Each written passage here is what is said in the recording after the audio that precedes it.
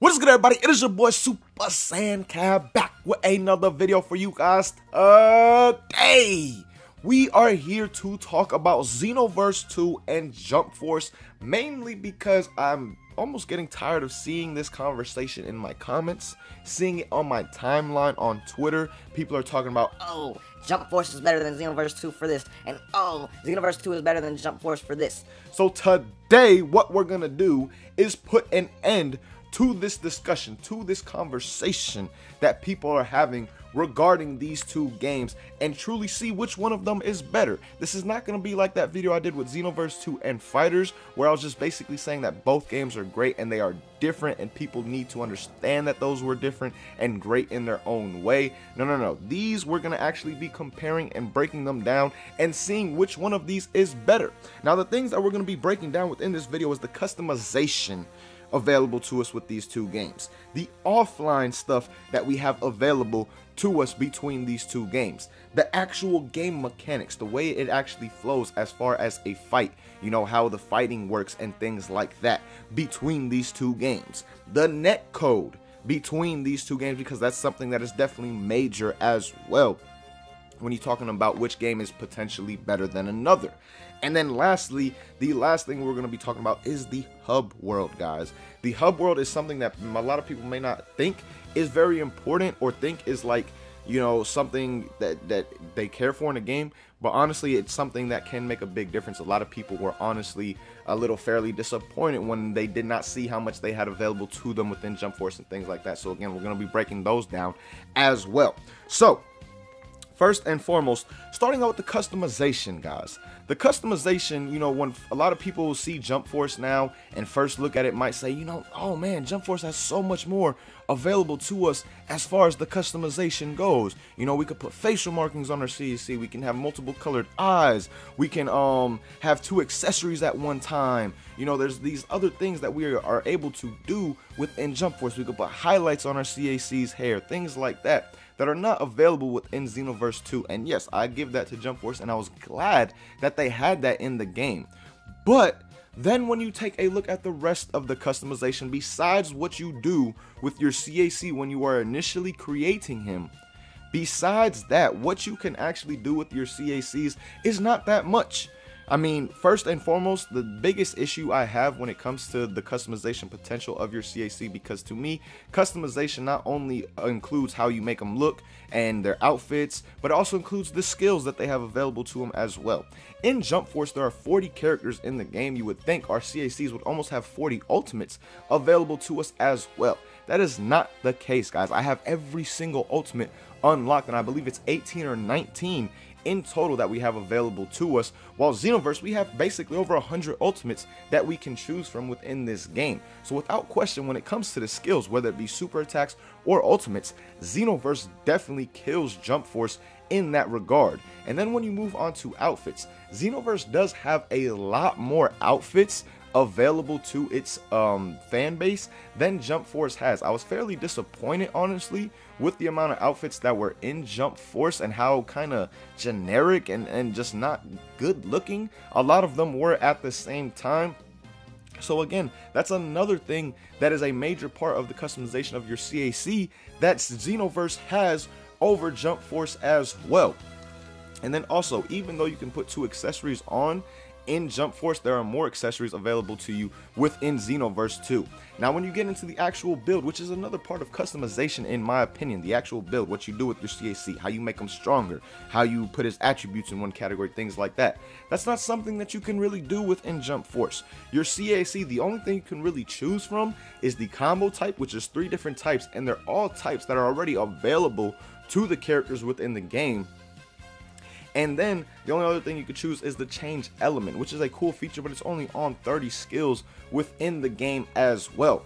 As opposed to the Xenoverse 2 CAC, there is just so much more that you can do in those regards. It may not have the change element feature just like Jump Force does, but think about everything else that it does have available to us as far as a build goes. We can actually apply stats to our CAC. We can use QQ bangs and apply those to our CAC that actually take effect not only in the offline gameplay but in the online gameplay as well if you want them to. When it comes to Jump Force, really the only thing you could do is apply those ability skill things and then I mean I, I, believe some J powers or whatever they're called. I forget the other things that are kind of similar to Super Souls, but not really at the same time. And then on top of that, those don't apply when you come to the online rank scene as well. So really, what is the point of leveling up? What is the point of getting these J skills? What is the point of putting these ability skills on within Jump Force if you can only use them in offline? And then moving on to the subject of offline, Jump Force's offline stuff is really not that vast. There's not much you can really do. You do these missions where you're basically just fighting over and over and over and over again. There's nothing special about these missions. The computer is fairly annoying in how turtle shell they are and how spammy they are just with ults and things like that. It's just a nuisance. It's not necessarily hard, but it's just annoying and not fun at the same time. And again, it's the same thing over and over and over and over again.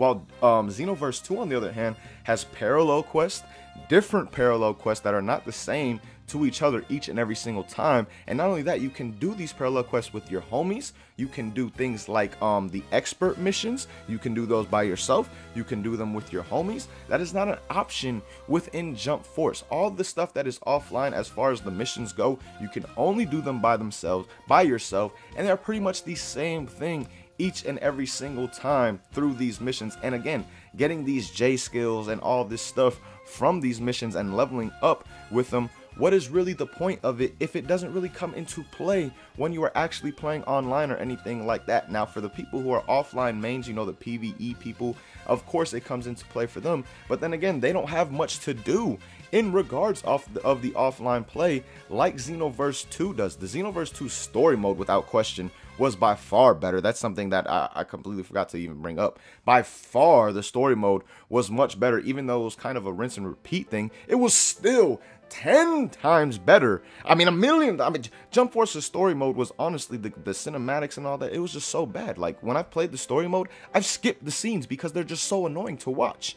So again, the story mode for Jump Force was just terrible. There's not much to do in regards of the offline modes as far as the missions, and it's the same thing over and over. While Xenoverse, like I said, you got the different parallel quests, you got the expert missions, and you can do all this stuff with your friends at the same time. And then you also have the mentors, the mentors to get their skills, doing the mentor missions with them. Those might be similar in a sense to um, like doing all of them. They may be similar missions, but at the same time, it's something else that Xenoverse 2 offers within that offline mode while again, Jump Force is really just offering missions and the story mode, which both, in my opinion, are very, very lackluster compared to what Xenoverse 2 offers.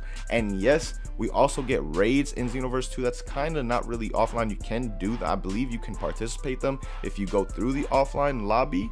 Um, you still, I believe you need PSN though to still get in them. At the same time, though, Jump Force is supposedly bring. Oh, I'm sorry for hitting the mic, but Jump Force is supposedly bringing some events thing. There's a whole event like table station where you can go to, and supposedly there's going to be events in the future. Who knows what those are going to be like? We'll see, and we can compare them more to raids when we get to those within that time. But again, as far as the offline stuff, like I just mentioned, man, there's so much more to do within Xenoverse 2 for the PvE players and just in general for everybody. Because regardless if you're someone who likes to play PvP or PvP or PvE only, you still really do a lot of the offline stuff regardless. So again, in terms of customization and offline stuff already, Xenoverse 2, to me, for the reasons that I explained, is much, much better. Now, moving on to the actual game mechanics. The game mechanics of Xenoverse 2 when you really think about it, are actually very good. The major issue people have is the netcode, which makes some of the game mechanics look not as good, like hit detection, things like that. But when Xenoverse 2 is flowing and you're not having these issues, the game mechanics are very, very good. The way it is played, in my opinion, is very, very good. It's very fluid. There's opportunities to punish. You can do a lot of things, um, a lot of different things that's from Xenoverse 1, 2, 2 that they added as far as the snap vanishing, you know, the, the stamina breaks, the burst dashing with the um, pressing the YB or the triangle circle, things like that. So there was a lot of stuff added to make the gameplay much more fluid in Xenoverse 2, and it definitely showed. And it's a major reason why people still play this game till this day is because the gameplay is actually very, very fun when you're not having any netcode issues. The netcode is what makes the gameplay go down a little bit. But again, as far as the mechanics actually work for Xenoverse 2, it is a proper fighting game in my opinion. And the facts that things are punishable very easily. You know, if people do spam within Xenoverse 2, a lot of times it is extremely punishable if people throw random ults out they're getting stamina broken things like that while is as in jump force man this is my main issue with jump force is the actual way the game plays one i don't understand why pretty much every move in this game get super armor to it that just absolutely makes no sense. I've never seen a game like that where every single move you have has super armor and you cannot be punched out of it. Like if you are charging a kamehameha and i walk up to you boom punch to the face you're just going through that and still charging your kamehameha. I've never seen a game like that. That makes absolutely no sense in my opinion. And that's one of the major issues around the community. But talking about some other issues that I have within this game, to me, the game does not promote combos. I've never heard of a game where I've said, okay, let me lessen my punches just to make sure that I can get this combo off without my opponent getting out of it.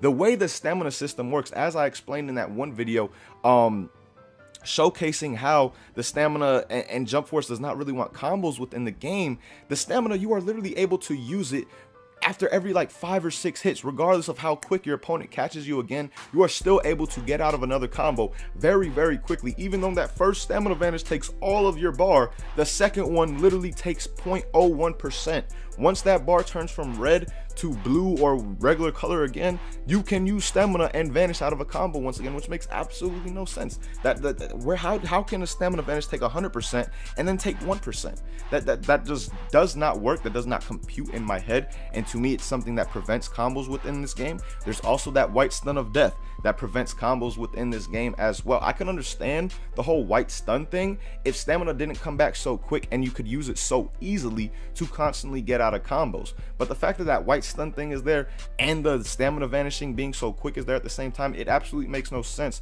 why they even have that. Really, a lot of times when it comes to the online play, you don't see people run into that white stun of death because you can get out of a combo before that even happens. Before your opponent reaches that amount of hits, you should be able to get out of a combo with your stamina. And then you move on to a thing like high speed counters. High speed counters is another thing that prevents combos from within this game. High speed counters, I've never heard of something where I'm literally hitting you and then out of nowhere a slow down animation comes. You stop and hit me. Huh? And the only way for me to punish that is by using a high speed vanish. But check this out. The high speed vanish takes more stamina from you than the high speed counter takes from your opponent. So in the end, you're really being punished by losing stamina and not getting as much of a combo off as you should have if that high speed counter wasn't there. So the high speed counter to me is a very, very dumb mechanic, especially since you could just smash X or square, depending on what kind of controller you're using, and it actually works. Like you can just mash the button and you will still be able to get out of it. So that's another mechanic that just absolutely makes no sense. Why is that even in a game? How, who thought of something like that and thought it was okay to put it into a fighting game? This is like a 3D battle arena spam fest. It almost seems like that's what the creators were aiming for when it comes to the online because again, all those things that I just mentioned prevent combos from really being a thing within Jump Force. And then on top of that, it's so easy to just spam moves because they have super armor. So right now, the state of Jump Force is honestly not really good. There's still those fanboys that support it heavily like, oh my god, Jump Force is the best thing ever, and th- that's their opinion. That okay. But for the most part, a lot of people are already hopping off the game. It hasn't even been out a month, and a lot of people are getting off the game already, losing interest with it already just due to these issues that I just mentioned with the actual gameplay mechanics. But that's one another category that honestly just goes to Xenoverse 2. Right now, Xenoverse 2, in my opinion, wins in terms of customization, what you can do in the offline modes, and the actual game mechanics, the way the game actually plays. And then now we move on to the netcode. Netcode is something that Jump Force, I have to give them credit for. Jump Force actually did very, very well with the netcode, and that's very surprising coming from a Bandai game. But Jump Force's netcode is actually very, very good. There's really never any issues as term in terms of lagging or anything like that. Like I've had a couple of issues maybe in the beta, things like that. But since the actual game has come out, really haven't had many lag issues um, of that or anything of that nature. And that's the biggest flaw within Xenoverse 2 is the netcode, the way the game plays online at times, depending on your opponent and how good your connection is with them. So again, that is probably the only thing that I say Jump Force actually wins because then when you move into the hub world, the hub world, of course, Xenoverse 2 is, is, way better and way bigger and there's more stuff to do within it as opposed to Jump Force. Like what can you really do within Jump Force's hub world besides go to the missions, um, all the, the counters and buy things and stuff like that. And it's very, very small um, as well at the same time. So for the most part, guys, Xenoverse 2 has better customization, a better offline mode, better offline modes, better game mechanics in terms of how it actually plays, the fighting, the way the fighting works, and it has a better hub world. Jump Force only has a better netcode. So when there's a game that has four categories that it's winning and a game that only really has one, I'm pretty sure the game that has four is much much better than the only the one that only has one category to it. And again, you guys have to understand. A lot of people may be thinking Jump Force is better right now because it's what's it's what's new and things like that. It just came out. But do you really think anybody will really be playing Jump Force two and a half years down the line if they do not change things up within the game as far as how it actually plays? No, the game will die before that time comes. But when you look at Xenoverse 2, it is still thriving till this day. People still heavily play it till this day. So again, to me, it's no comparison, and it's something that needs to stop being compared as well when it comes to social media and how i have seen it in my comments. I understand that some people's opinion is what it is, but at the same time, for the, the things I just laid out, it's almost factual that Xenoverse 2 is a better game than Jump Force. But let me know what you guys think on what I had to say down below in the comments. Really, really hope you guys enjoyed this video. At the same time, like I said, th this one was an actual breakdown of these two games to see which one is better as opposed to that one I did with FighterZ and Xenoverse. That one, I was just appreciation for both and understanding that both were different games. Jump Force and Xenoverse are similar in the sense that they got CACs, it's 3D, there's um, a hub world, all this different stuff. They're very, very similar in those regards. So again, that's why we did this breakdown like we did. Let me know your thoughts on it down below in the comments. But as always, man, thank you guys so much for watching. Really, really hope you guys enjoyed. Until next time, hope you have a good day. Hey, y'all.